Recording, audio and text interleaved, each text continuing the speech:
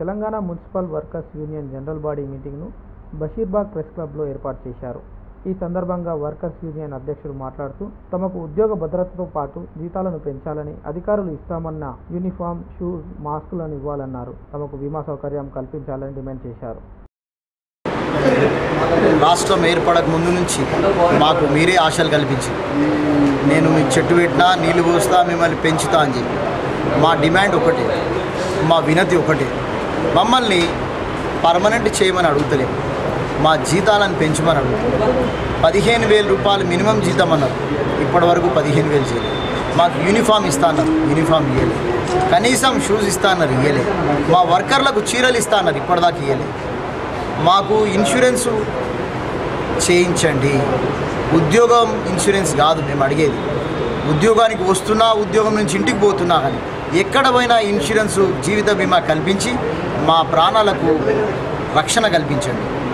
Permanent ఉద్యోగికి మీరు PRC ప్రకారం ఇస్తున్నారు. పే రివిజన్ కమిషన్ దాని చట్టమే సపరేట్ ఉంది ఆ ప్రకారంగానే మా జీతాలు ఐదు సంవత్సరాలకు ఒకసారి పెంచుతా ఉంటుంది పే రివిజన్ కమిషన్ కేవలము బేసిక్ పే తప్పించి మిగతా అన్ని ఫెసిలిటీస్ మాకు కూడా కల్పించాలని అదే చట్టం చెప్తుంది. మరి ఆ చట్ట ప్రకారంగా జీవిత బీమా కల్పించి మా బతుకులకు రక్షణ కల్పించండి. మేము ఒకవేళ చనిపోతే మా భార్య బిడ్డలకు ఏమొస్తుంది? మేము డ్యూటీలోనే చనిపోతే నువ్వు మూడు లక్షలు నాలుగు లక్షలు ఇస్తావు ఆరు లక్షలు ఇస్తావు. కానీ మేము బయట చనిపోయినా మాకు ఆ డబ్బు ఇప్పిస్తే మా భార్య పిల్లలు ఏ కిరాణా స్టోరు ఒక ఇడ్లీ బండో లేకుంటే పాన్ షాపో పట్టుకొని బతుకుతారు. ఎందుకంటే మేము చాలా నిమ్న జాతులము. మేము తక్కువ జీతంలో బతికే వాళ్ళం పేదరికంలో ఉన్నవాళ్ళం మేము కోరుకుంటుంది ఒకటి మాకు మా భవిష్యత్తుకు భరోసా కల్పించండి జీతాలను పెంచండి. రెండోది మాట్లాడితే తీసేస్తా.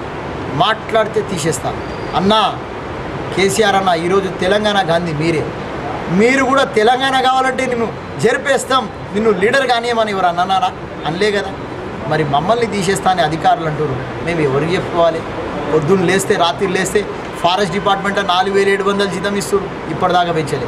వాటర్ వర్క్స్లో నాలాలా పనిచేస్తారు నాలుగు వేల ఏడు వందలు జీతం ఇస్తారు ఈ పరిస్థితి ఎందుకు? అంటే అక్కడ ఇంకా ఆంధ్ర అధికారుల పెత్తనం నడుస్తూనే ఉన్నది.